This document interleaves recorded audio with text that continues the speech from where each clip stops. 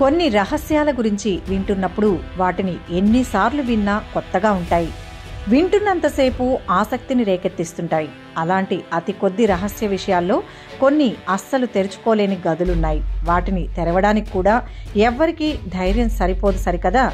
అసలు ఎప్పటికీ తెరవలేరు. మరి తలుపులేంటి? ఆ తలుపుల వెనుక దాగి ఉన్న రహస్యమేంటో ఈ వీడియోలో తెలుసుకుందాం. టెర్రకోట సాలిడస్ చైనా షాంకీ ప్రావిన్స్ రాజధాని అధ్యక్షుడు జీ జిన్పింగ్ సొంతూరు జియాన్ నగరంలో చారిత్రాత్మక టెర్రకోట ఆర్మీ కనువిందు చేస్తుంది. టెర్రకోటతో తయారు చేసిన ఎనిమిది వేల మంది సైనికులు రెండు వేల సంవత్సరాలుగా తమ రాజు సమాధికి కాపలా కాస్తున్నారు. ఇది చదవడానికి కొంచెం వింతగా అనిపించినా ఇది నిజమని అక్కడి ప్రజలు నమ్ముతుంటారు. దీనిని ప్రపంచవ్యాప్తంగా టెర్రకోట ఆర్మీ అని పిలుస్తారు. ఇది షాంకి వెళ్ళే వారికి ప్రసిద్ధ పర్యాటక కేంద్రం. పంతొమ్మిది వందల డెబ్బై నాలుగు మార్చి ఇరవై తొమ్మిదిన షాంకీ రైతులు బావి తవ్వుతుండగా ఈ టెర్రకోట సైన్యం బయటపడింది. ఒకటిన్నర కిలోమీటర్ల వ్యాసార్థంలో తవ్వకం జరపగా వరుసకు ఎనిమిది మంది చొప్పున సైనికులు పదకొండు వరుసల్లో నిలబడి ఫుట్బాల్ మైదానానికి సమానమైన హాల్లో ఉంటారు. ఈ సైనికులకు అనేక ప్రత్యేకతలున్నాయి. ప్రతి సైనికుడి ఎత్తు భిన్నంగా ఉంటుంది. ఇది వారి ముఖం దుస్తుల్లో కూడా ప్రతిబింబిస్తుంది. పాలకుడు మరణించినప్పుడు ఈజిప్టులో పిరమిడ్లు నిర్మించినట్లే చైనా పాలకుడి సమాధిని రక్షించడానికి సైనికులను జియాన్ నగరంలో మోహరించారు. ఈ సైనికులను క్రీస్తు పూర్వం రెండు వందల పది రెండు వందల తొమ్మిదిలో చైనా రాజు క్విన్షీ హువాంగ్ మరణం తర్వాత పగుళ్ళు ఉన్న నేల నుంచి మట్టిని తీసి తయారు చేసినట్లు చరిత్ర చెప్తోంది. మరణం తర్వాత కూడా రాజును ఈ సైనికులు రక్షిస్తారనేది ఆ రోజుల్లో నమ్మేవారు. ఈ సైన్యం జీవిత పరిమాణ బొమ్మల తల చేతులు కాళ్ళు విడిగా తయారు చేసి తరువాత వాటిని జోడించినట్లుగా చరిత్రకారులు గుర్తించారు. ఈ బొమ్మలు ఇప్పటికీ సజీవంగా ఉన్నాయి. రాజు సమాధి ముందున్న పెద్ద హాల్లో ఈ సైనికులు నిలబడి ఉంటారు. సైనికులు వారి గుర్రాలు కార్యాలయాలు ఇతరులకు కూడా నివాసంగా ఉంది. సైనిక పరికరాలు రాగి టిన్ వివిధ లోహాలతో తయారు చేసేవారు. ఈ సైన్యం ఇరవై మూడు అడుగుల లోతులో నాలుగు గుంటల్లో ఉంటుంది. మొదటి గొయ్యి రెండు వందల ముప్పై మీటర్ల పొడవు అరవై రెండు మీటర్ల వెడల్పుతో ఆరు వేల బొమ్మలు ఉంటాయి. ముప్పై మూడు మీటర్ల వెడల్పు గల పదకొండు కారిడార్లు ఉన్నాయి. చెక్కతో చేసిన పైకప్పును వర్షం నుంచి మట్టిని రక్షించడానికి ప్రత్యేక చర్యలతో ప్లాస్టర్ చేయబడింది. Room number eight seventy three. కెనడాలో విదేశీయులను ఆకట్టుకుని టూరిజంను అభివృద్ధి చేయడానికి పద్దెనిమిది వందల ఎనభై ఎనిమిదిలో ఓ హోటల్ని కట్టారు. ఈ హోటల్ బాన్ఫ్ నేషనల్ పార్క్లోని ఒక పెద్ద కొండ మీద నిర్మించారు. ఈ హోటల్ పేరు ఫెయిర్మాన్ బాన్ఫ్ స్ప్రింగ్స్ అయితే ఈ హోటల్ స్ప్రింగ్స్ హోటల్గా ఫేమస్ అయింది. ఈ హోటల్లో బస చేసిన ప్రయాణికులు పచ్చటి ప్రకృతి అందాలను ఆస్వాదించవచ్చు. ఇక హోటల్ కూడా బయట నుంచి ఎంతో అందంగా కనిపిస్తుంది. అయితే ఇన్నేళ్ళుగా ఈ హోటల్లో ఇప్పటికీ సాల్వ్ చేయని ఒక రహస్యం ఉంది. ఈ హోటల్లో దెయ్యాలున్నాయని ముఖ్యంగా ఎనిమిది వందల డెబ్బై మూడవ రూంలో ఉన్న తాము చాలా ఇబ్బందులు ఎదుర్కొన్నామని చాలా మంది చెప్పారు. ఈ రూమ్కు దెయ్యాలకు ఉన్న రిలేషన్ ఏంటంటే పంతొమ్మిది వందల ఇరవై ఎనిమిదిలో ఒక జంట ఇద్దరు పిల్లలతో ఈ హోటల్లోని ఎనిమిది వందల డెబ్బై మూడు రూంలో బస చేశారు. ఆ ఫ్యామిలీ ఆ రోజంతా సంతోషంగా గడిపారు. చుట్టుపక్కల ప్రాంతాలను కూడా సందర్శించారు. రాత్రి ఆ రూంలో నిద్రపోయారు. తెల్లవారి లేచి చూసేసరికి ఆ రూంలో ఉన్న ఒక్కరు కూడా ప్రాణాలతో బ్రతికిలేరు. దీంతో ఈ మరణాలపై దర్యాప్తు చేస్తే హోటల్లో దిగిన వ్యక్తి తన భార్యను పిల్లలను చంపి తర్వాత తాను ఆత్మహత్య చేసుకున్నట్లు తెలిసింది. ఎందుకు అలా చంపాడు అనేది ఇప్పటికీ మిస్టరీనే.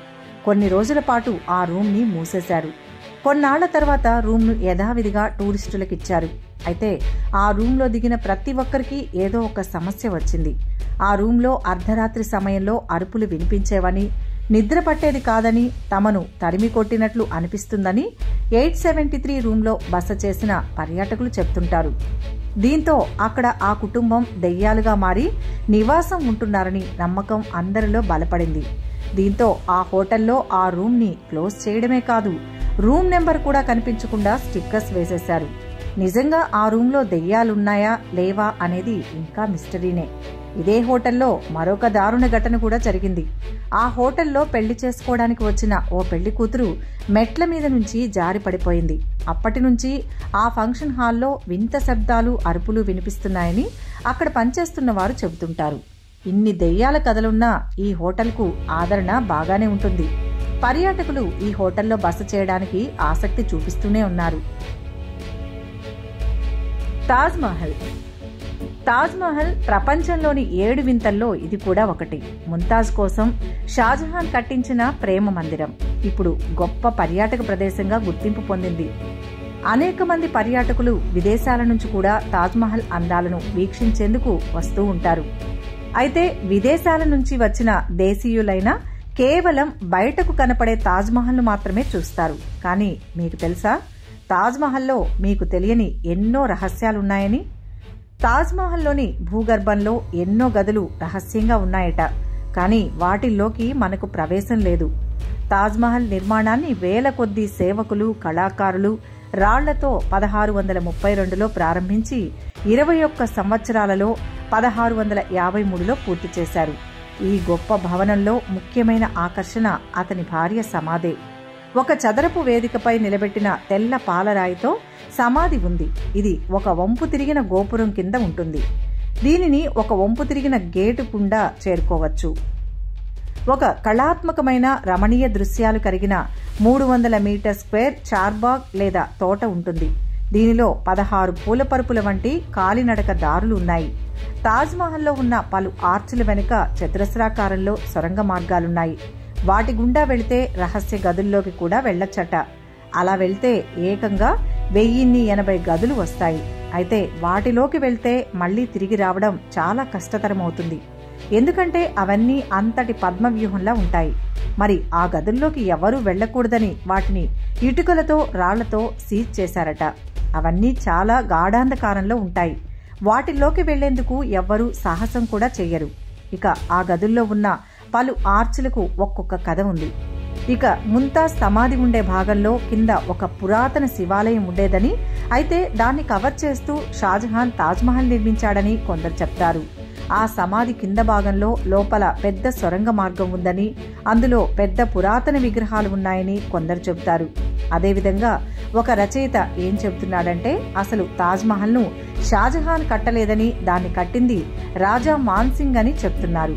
ఇక కొందరైతే తాజ్మహల్లో ఉండే రహస్య గదులు ఖాళీగా ఉండేవని అందుకే వాటిని మూసేసి ఉంటారని అంటున్నారు. తాజ్మహల్లో ఉండే రహస్య గదులకు ప్రధాన ద్వారం ఇదేనట. దీన్ని ఇటుకలతో మూశారు. అయితే ఇప్పటి వరకు తాజ్మహల్లో రహస్య గదులున్నాయని ఎవ్వరూ నిర్ధారించలేదు. అయినా అనంత పద్మనాభస్వామి గుడిలో నేలమాళిగలు బయటపడినట్లు తాజ్మహల్లోనూ రహస్య గదులు బయటపడతాయేమో చూద్దాం.